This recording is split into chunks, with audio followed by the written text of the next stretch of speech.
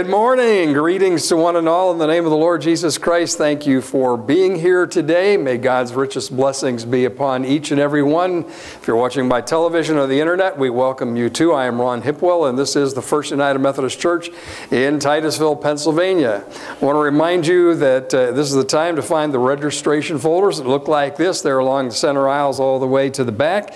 Please take the time to fill that. If you are a first time visitor, we are so glad you're here today, and we do have a welcome gift for you. And those are available in the church office, which is down this long hallway. You can find them in there after the worship service. Also, uh, if you have a prayer concern, please take the time to find the prayer cards that are in front of you in the pew racks. Fill those in, and during our first song, the ushers will be around to collect those. Also, we are in the Lenten season, so I want to remind you that uh, there is a Lenten service that lasts about a half an hour and a Lenten luncheon that follows between 12 and 1 on each Wednesday. They are sponsored by the Titusville Area Ministerial Association, and so you are invited to come. We'll have a different speaker each week and a different church preparing the lunches, but they are here. Also, I uh, want to mention, I just found out from Terry that her physical therapy has been going well, and so this coming Wednesday, right after the supper, uh, for KFC, the children's choir is going to start rehearsing again. So Wednesday, 5:30, and. Um, Let's see. Oh, one thing. I got a call from somebody who was very excited last night uh, or yesterday afternoon, and she's going to come back tell you a little bit more about it. Um, but she's on vacation. But Rosemary went and got a hold of me, and some of you know that she went to Philadelphia for a PET scan, uh, and they took out the port and flushed it out, and the heparin, she had a, an allergic reaction, almost died. But she came through that. They got her squared away. And uh, 24 hours later, she was out of intensive care and on a plane heading to, to Arizona. And she just wanted to have me say, Praise the Lord. So, praise the Lord. Jerome. Good morning. Education meeting this Tuesday, 7 o'clock in the fellowship hall. Thank you. Uh, good morning. I want to call your attention to the Puppet Talent Show this Friday night at 7 o'clock. Uh, on the back of the bulletin, the time's right. You know, on the schedule, it says 5 o'clock, but it's actually at 7 o'clock. And uh, it's wrong in the messenger, too. But also, I want to call your attention to the hot cake dinner that we're having at Titusville McDonald's. All the proceeds benefit the puppet team. And it's also at 4 to 7 o'clock. And it's all you can eat for $3. So thank you. Oh, March 25th, sorry. I just wanted to announce an omission in the bulletin. Uh, all Hallelujah handbell ringers should know that your handbell practices start back up on Wednesday.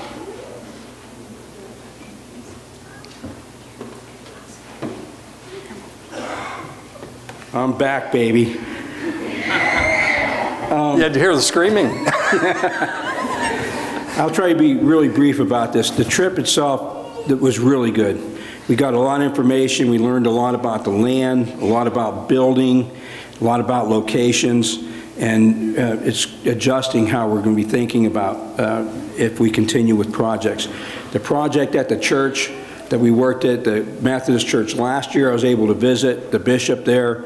He's doing, he's continuing with the project, and it's, it's looking really nice. Hopefully, we can, put something together for you.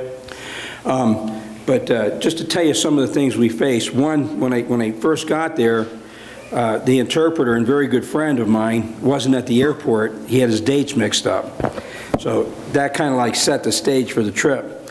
But then at the end, I get a message from my wife, and the furnace at our brick house froze up. It, did, it quit working, and I'm worried about that. And on the way home, we're flying in, and we left a car there, and my daughter and I were going to drive back, and my son was going to take a bus because his flight was uh, 10 hours behind ours. And as we're in the air, Nina says to me, Dad, Dominic has the keys of the car. So we worked it out. It took a few hours. My wife was on the other end working things out, and uh, God was certainly helping us. As we ended up renting a car, and then on the way home, Nina hit a deer with the rented car. But the praise is there wasn't a scratch on the car. I mean, so you see, we saw God working, but there was a, a a lot of issues in the beginning and the end, but the middle trip was, was really good, and hopefully, hopefully we'll have time to put something together, to really give you a taste of what, what, what happened there. So thanks for sending us, and we really appreciate it. I'm the last one and timing's running out on me. Joe talked too long. Anyways, I know it's still snowing out and I'm really sorry about that, but I can't help that. But downstairs is some chili to warm you up. And we have a walkthrough. So if you want to take it to go, you can go through the window and take it with you. So please, after the service, please come down and um, make a donation for our Relay for Life. So thank you. Thank you, Lisa and everyone. All right, let's take just a couple moments to celebrate that we are God's people because of Jesus Christ. So let's rise and greet each other and share his love with one another.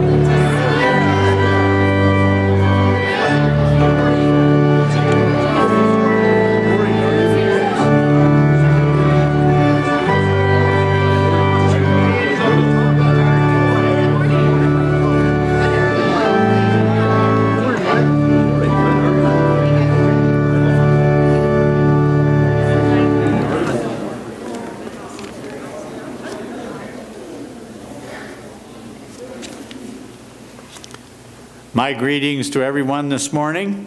Will you join me now in the responsive call to worship? I will sing of your love and justice. To you, O Lord, I will sing praise. I will be careful to lead a blameless life. When will you come to me?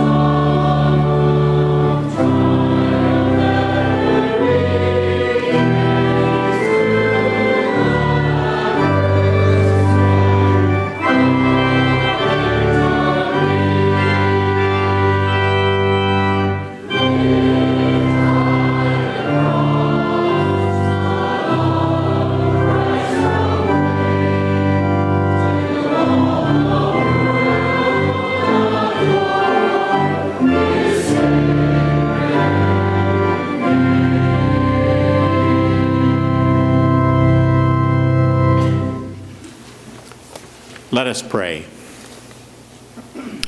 Our Father in heaven, we gather together this morning in this hour of worship to lift high the cross in our own hearts and our own lives so that the world around us might see the, the love of Jesus Christ in our, in our lives. We invite you to be with us this morning in all that we say and do. As we sing praises, we lift up our prayers to you. We give thanks for your presence with us in Jesus' name. Amen and you may be seated.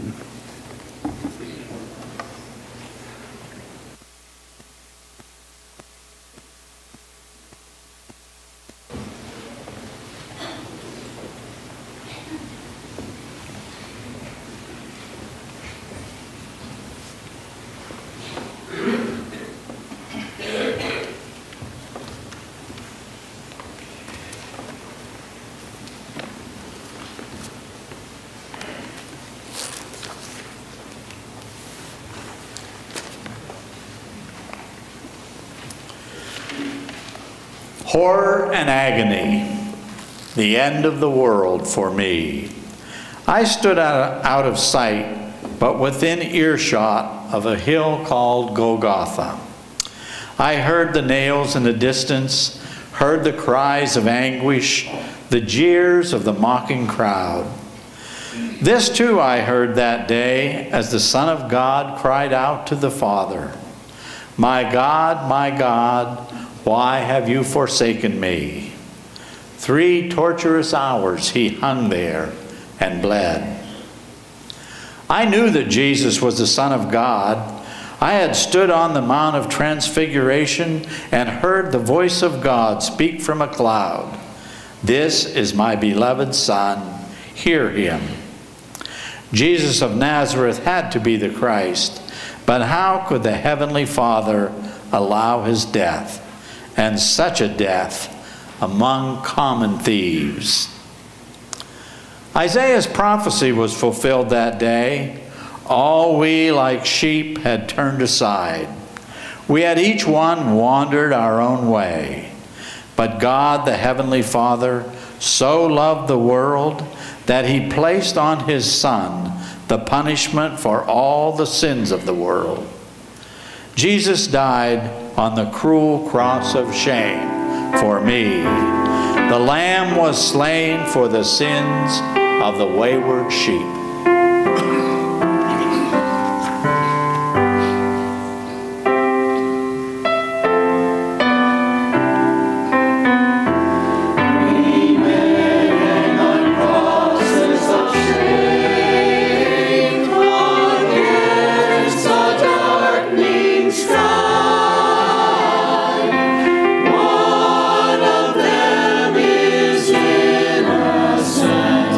He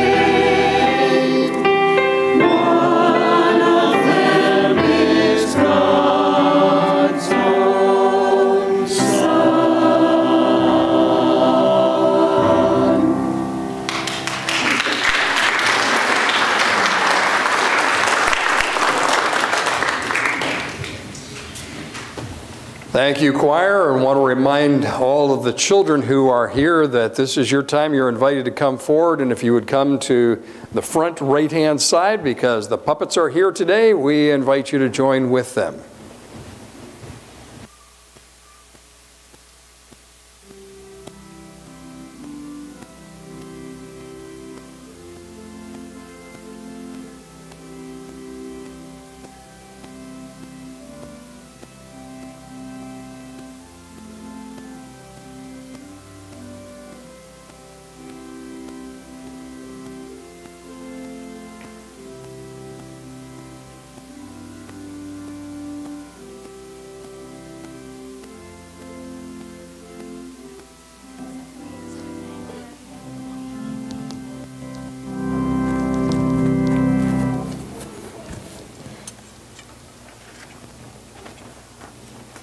Everybody.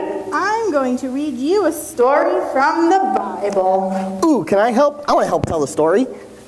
I guess you can help. Once upon a time, there was a boy.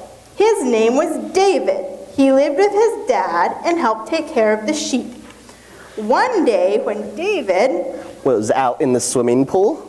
no, David was out in the pasture. He was Watching the Super Bowl. watching the sheep. Oh.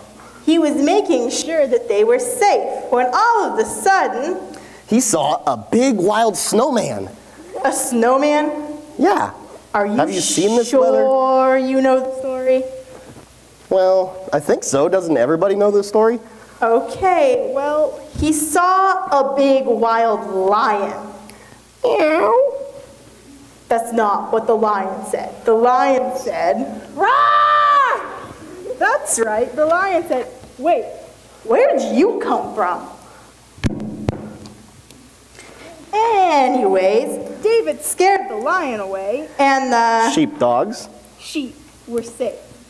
David would also sing pretty songs to the sheep.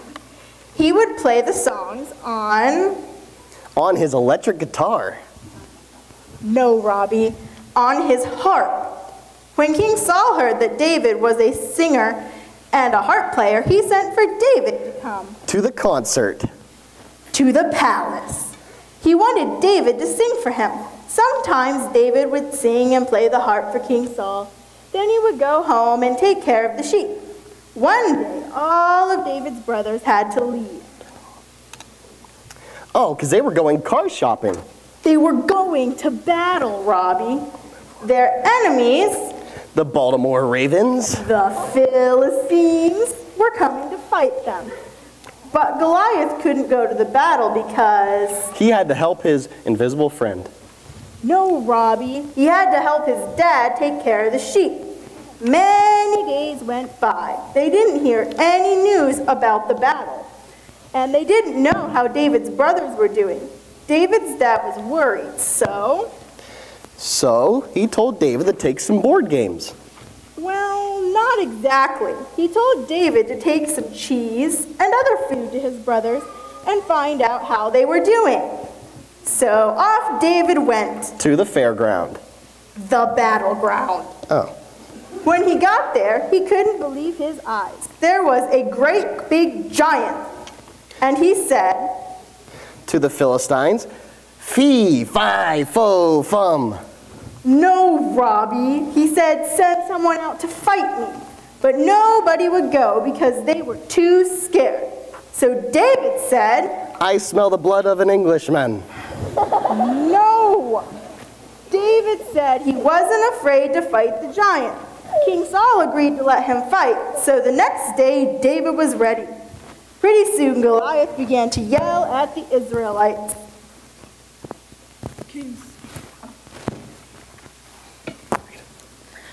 King Saul, send out your champion to fight me. Won't your gods protect you? Ha, ha, ha. All the Israelites are afraid of me. Ha, ha, ha, ha. So David went down to the brook to meet Goliath. Goliath was surprised that the Israelites had sent a kid to fight him and thought for sure he was going to win the battle. But David knew that if he trusted in God, he could kill the giant with just His his. Nerf gun. No, Robbie, with just his sling. He put a rock in the sling and swung it round and round and round. When he released the rock, it sailed through the air and hit Goliath. Right in the eye. Robbie, it hit him right in the forehead, and then he died. And that's the end of their story. Hey, you finally got something right.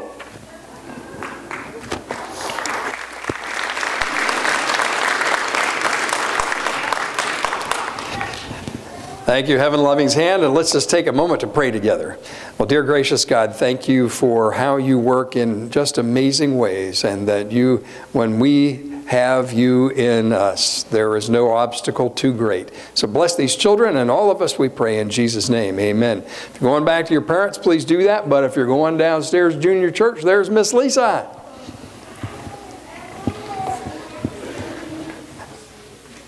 And this. This is our time to receive the morning offering to present our gifts before the Lord. Ushers, will you please help us?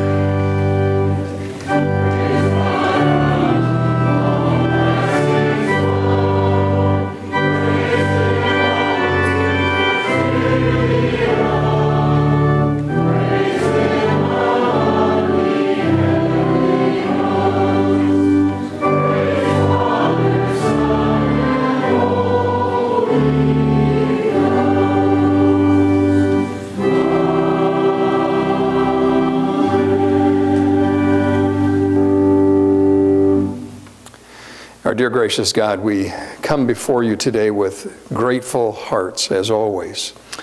We know that we cannot outgive you. You've given us so richly and abundantly in every way. We thank you that you're our maker and our provider, and that you've given us your extreme gift of love through the sacrifice of your Son, the Lord Jesus Christ. And so, with that gratitude for what you've done for us, Lord, we present to you these gifts. Please find them acceptable that we might serve you together and accomplish your mission to reach the world for Jesus Christ. And it is in his name we pray. Amen.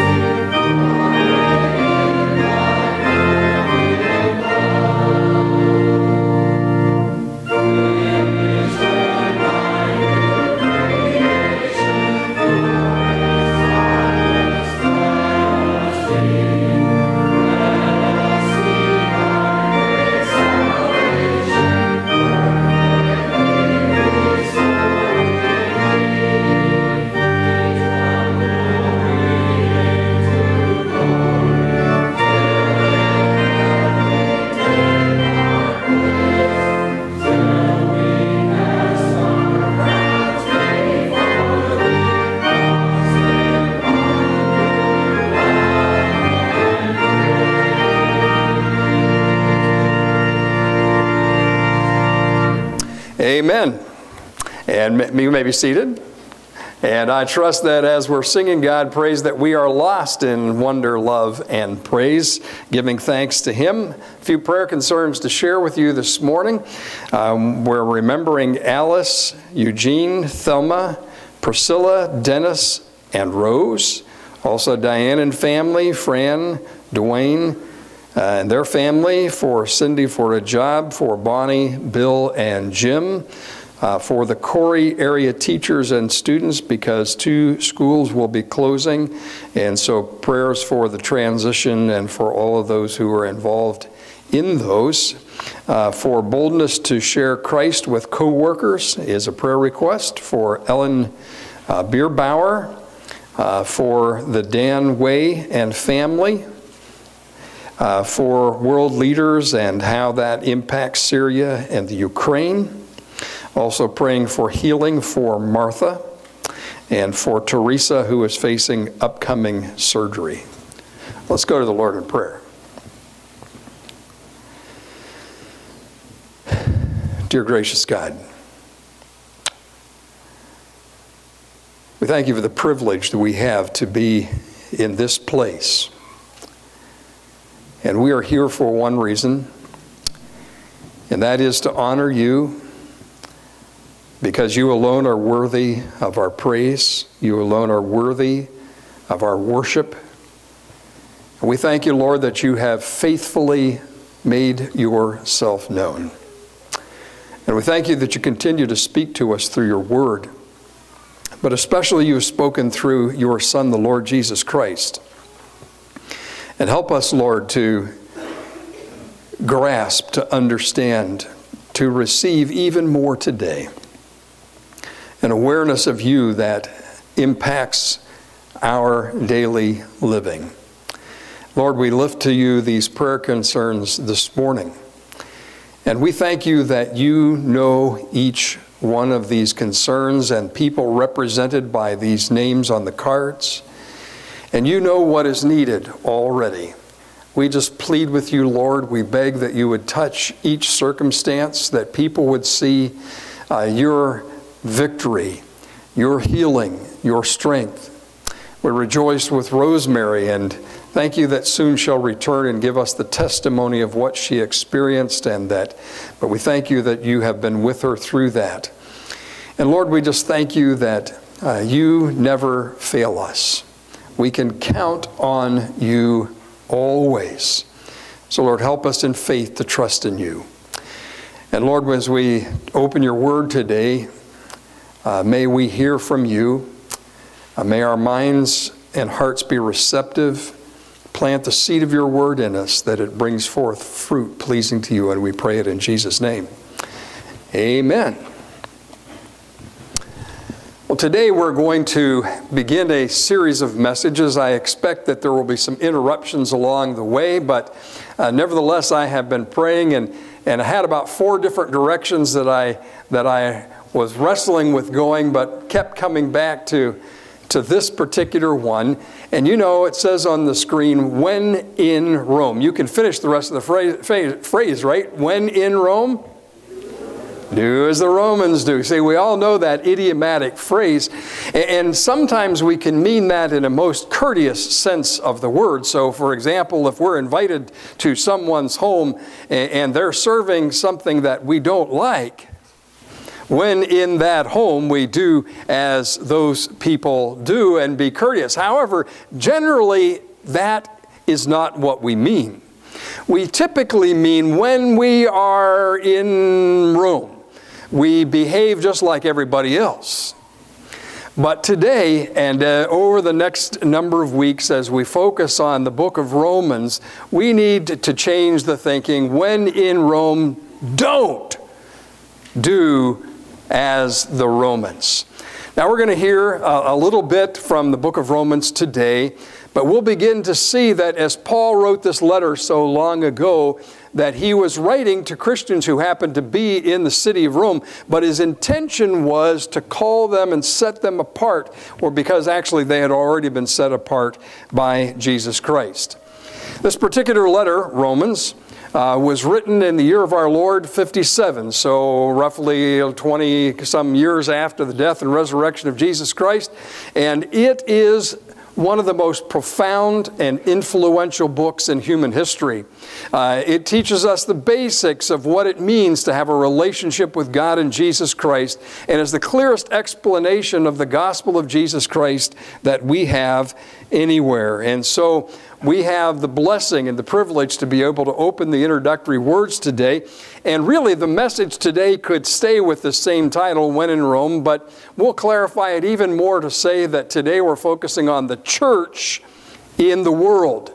Now, you could put yourself there if you want to do that because the idea could be you in the world or it could be me in the world, but yet we are a body of believers and all God's people are the church in the world. But the question is how we carry ourselves in the world.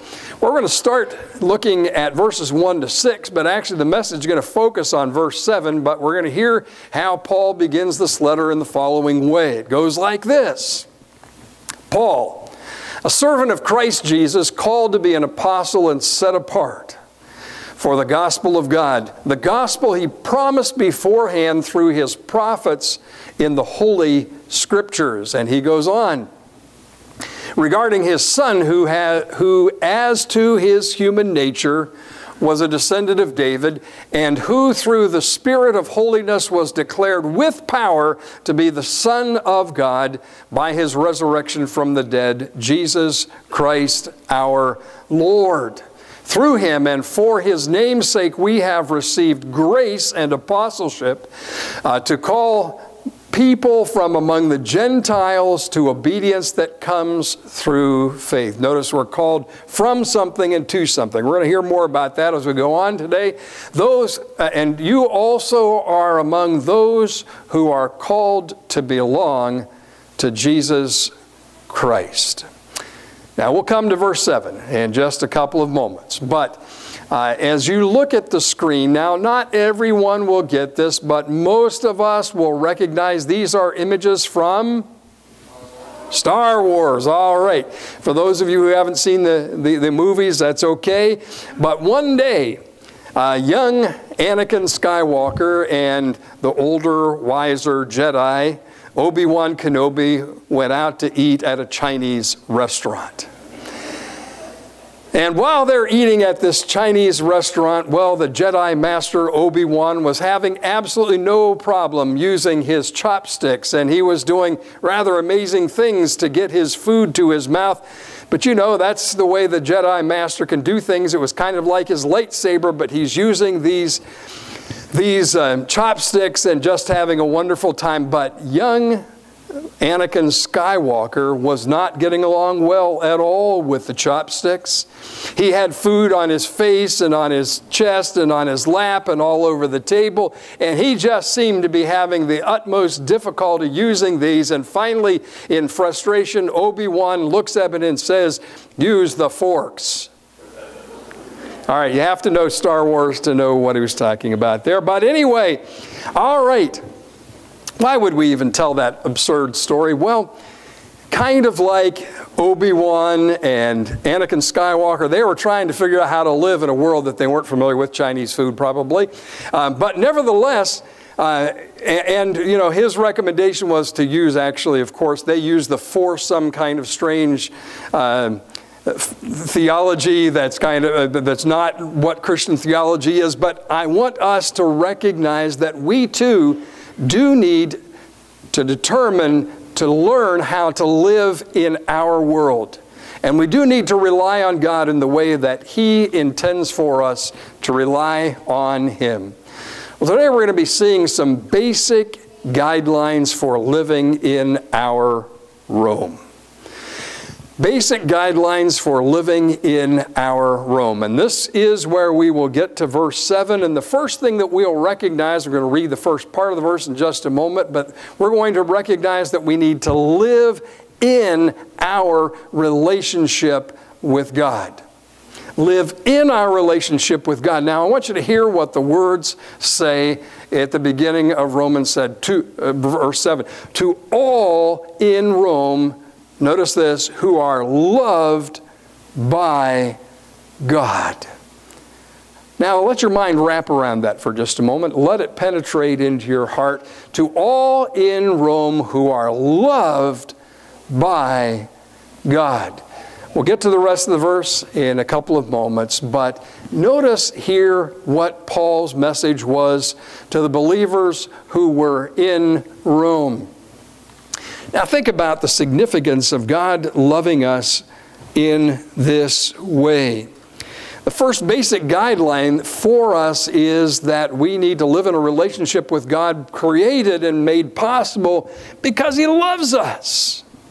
Now, some of you may think that God loves you because there's something even ever so small that He recognizes that He ought to love. That you have some small degree of goodness in you and that God loves you because of that. Someone else may be thinking that God loves me because I just happen to be more lovable than other people. And that God must love me because I am so special. And now I, I admit some of you are lovable. Maybe some of you are more lovable than others. You can take that wherever you want to go with it. But that's not what this means.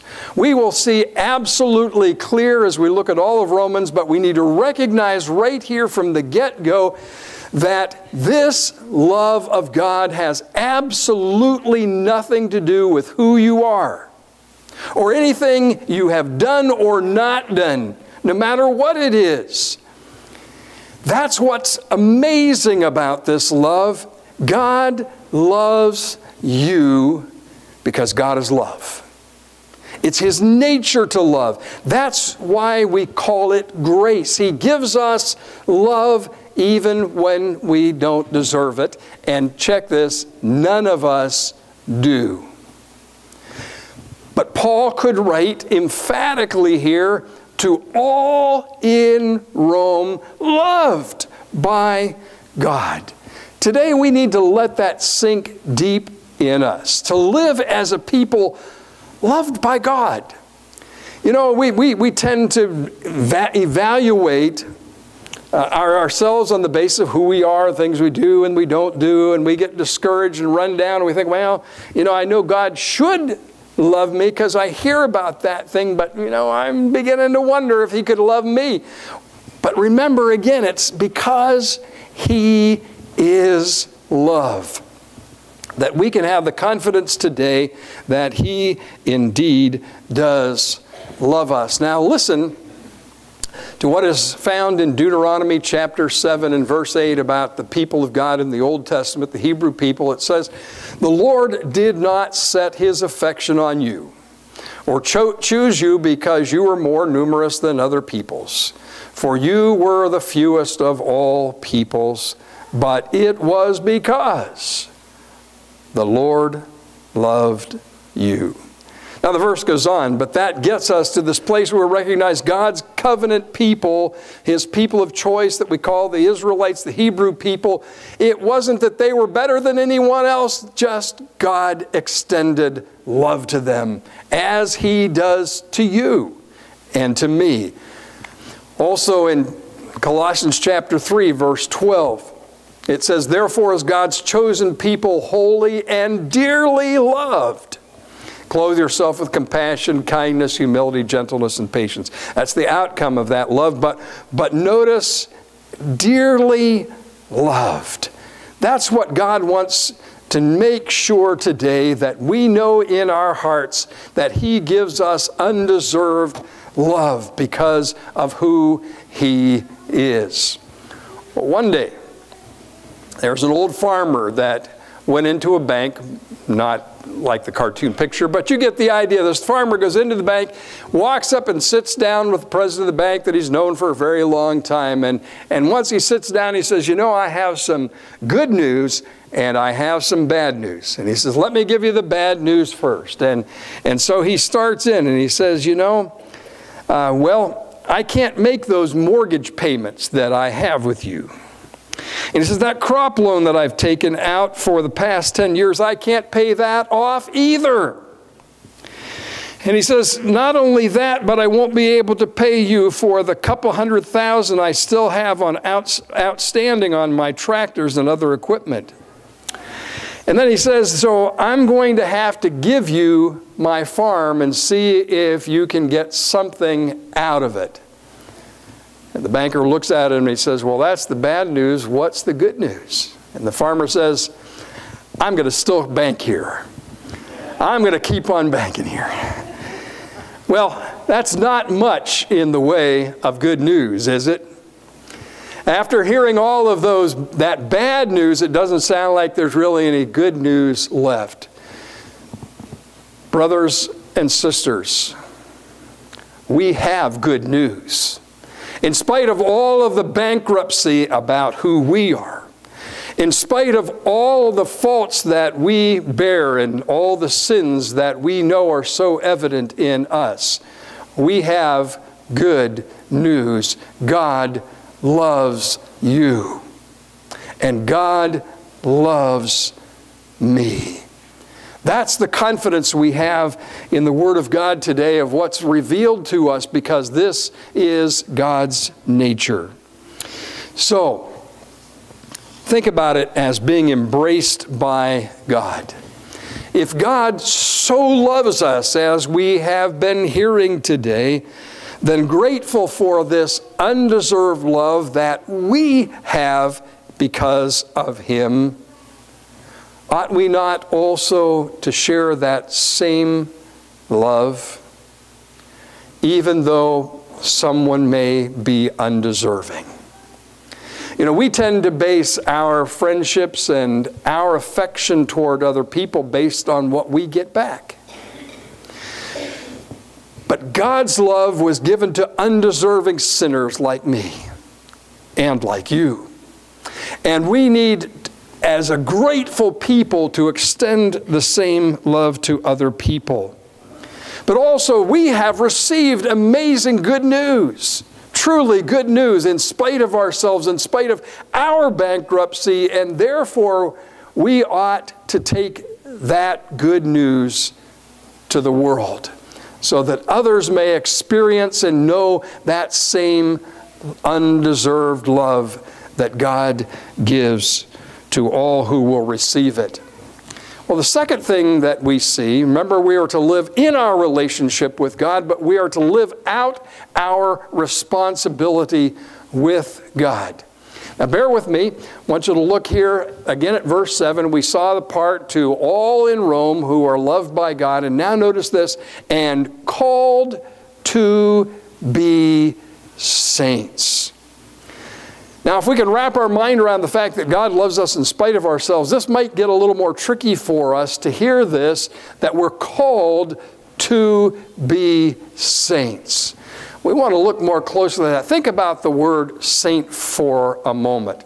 Maybe when you hear that word, you, you begin to think of somebody who has been designated by the world as being someone more special than everybody else because of God used them with a miracle or some reason they were, you know, because of their dedicated service and they are called Saint so and so.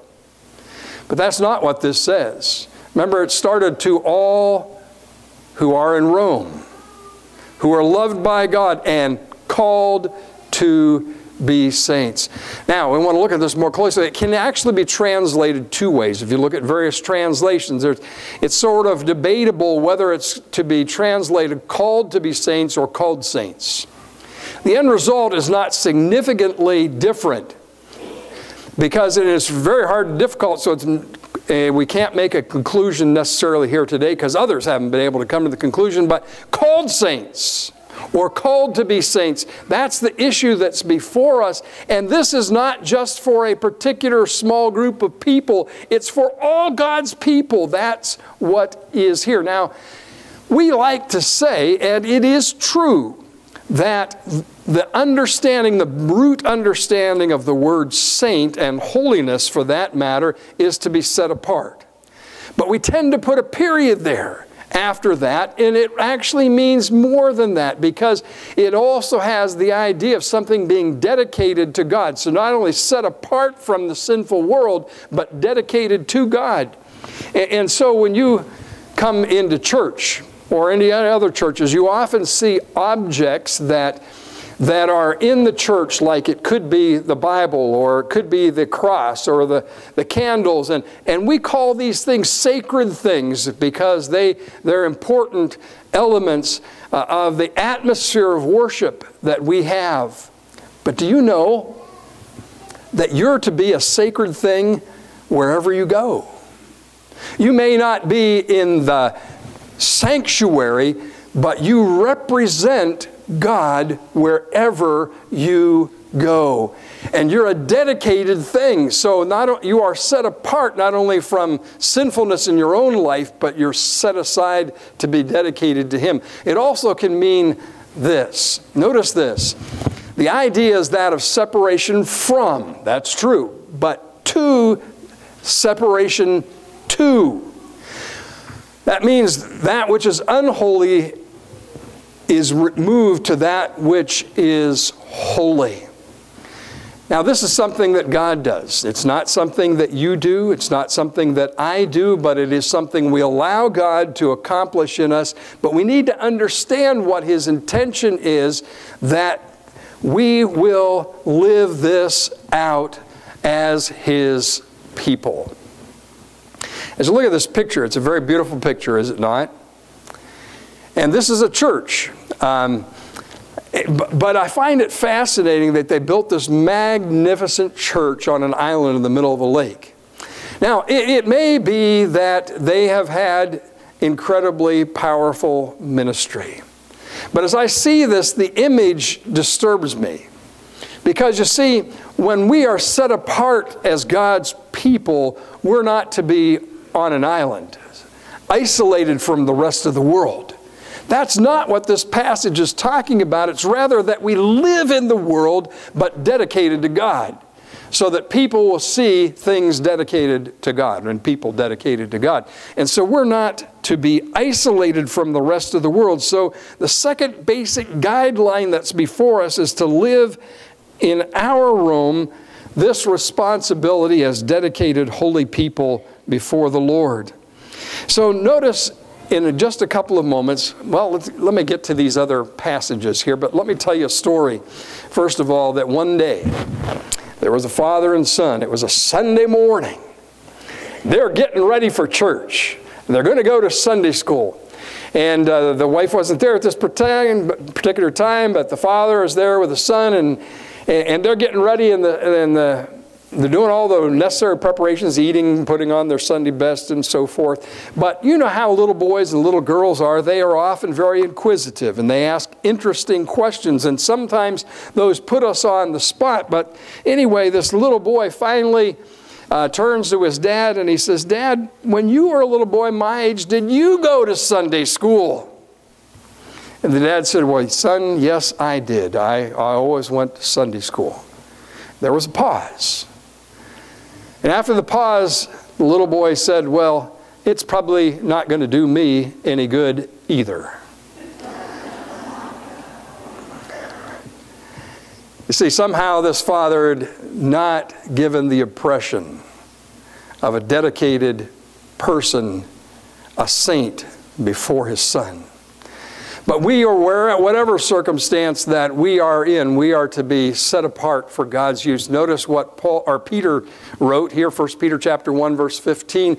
But just as he who called you is holy, so be holy in all you do. Now check this one out. This one is a, speaks deeply to me.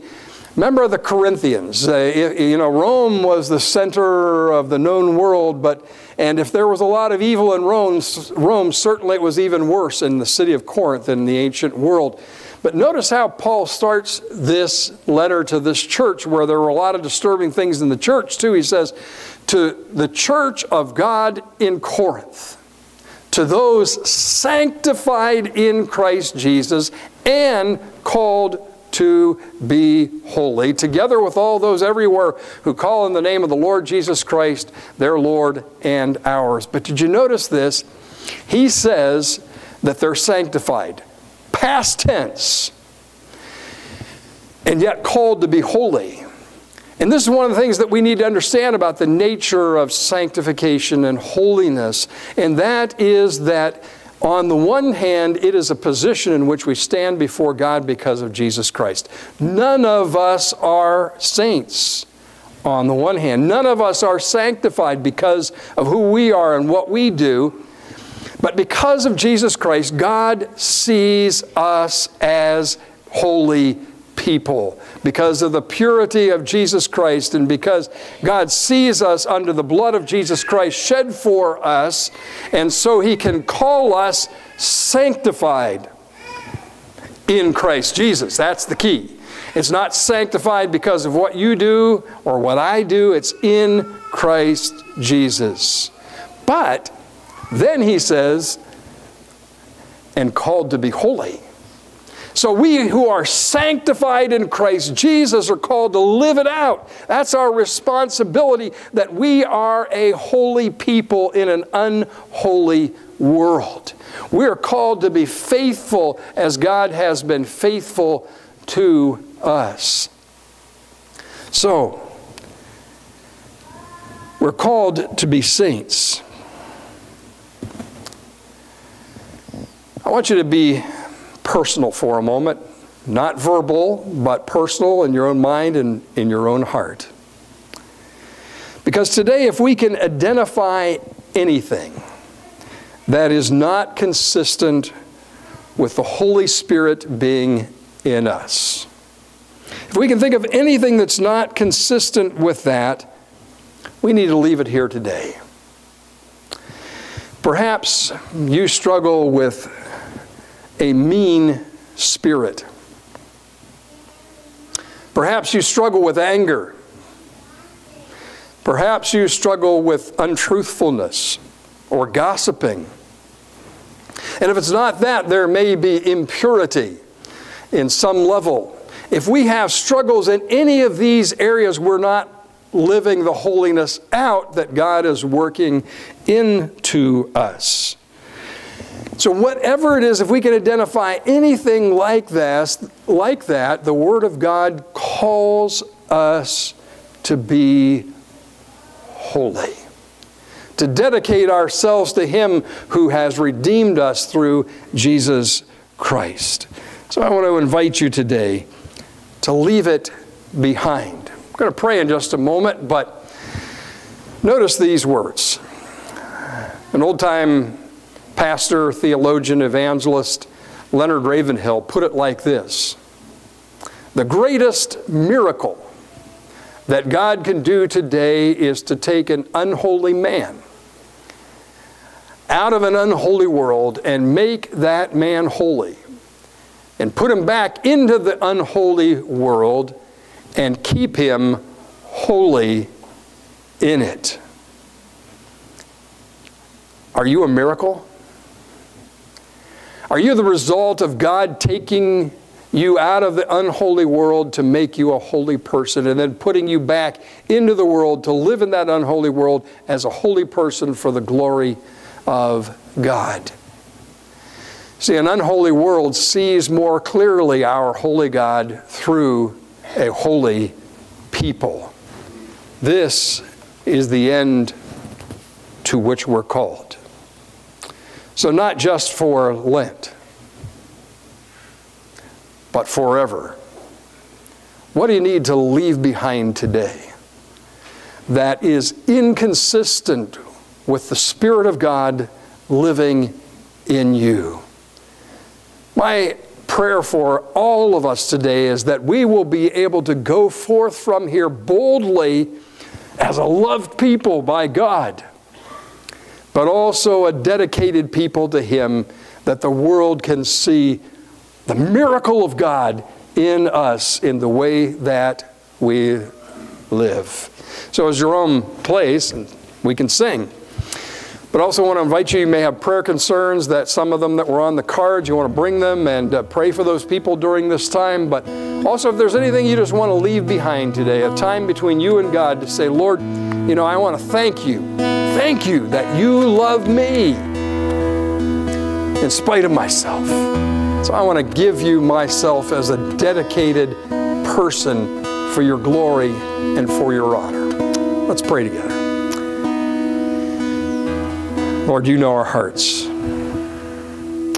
There are things that we want to deny about ourselves. There are things that we struggle with.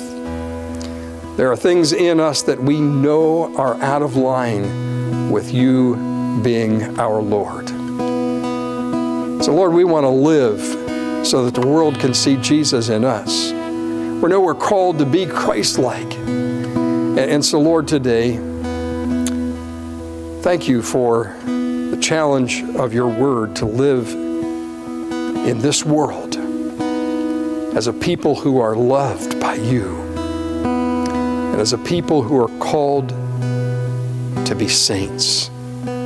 It's an awesome responsibility. But Lord, we want to show our gratitude.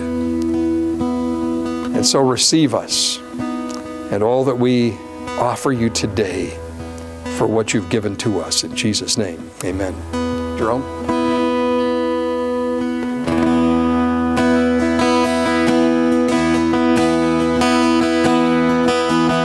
Took my sin and my sorrow.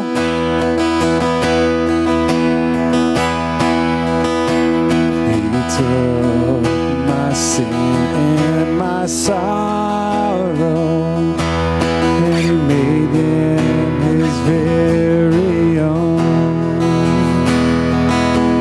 He bore the burden to Calvary and suffered and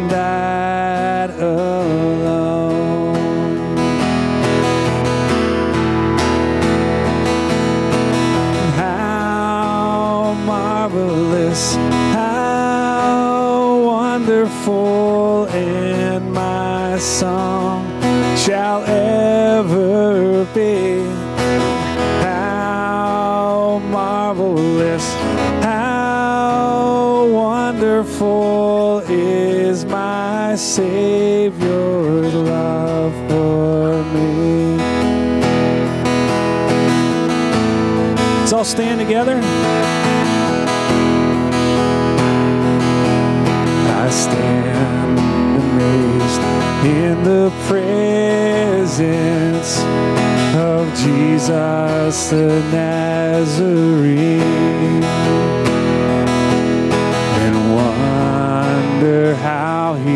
could allow me, a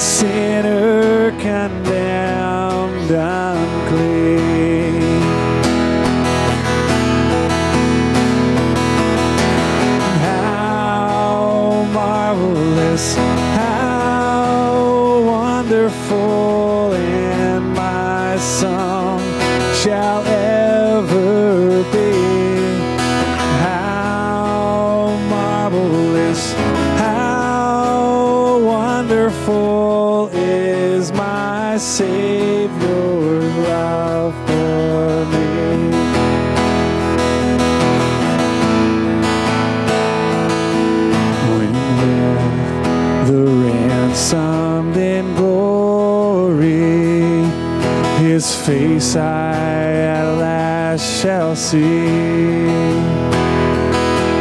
Twill be my joy through the ages to sing of his love for me.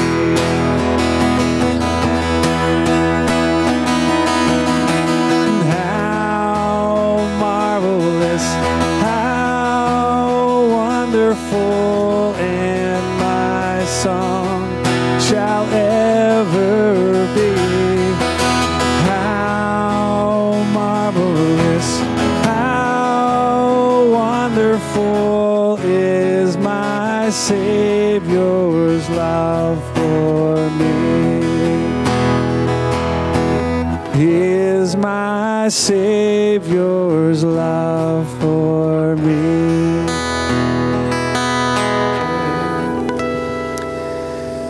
We want to take just a moment and ask God's blessing on the chili. And uh, it is downstairs ready for you. We invite you to join us. We want to take a moment to pray together and then receive the benediction. Uh, dear God, thank you for uh, the team that has prepared the food and for the reason that it has been done to raise funds for those who suffer with cancer. And so bless us with this food and all those who prepared it. And Lord, help us to take with us today not just words to Rome, but to all in Titusville who are loved by God and called to be saints. Grace and peace to us through our Lord Jesus Christ. So be it.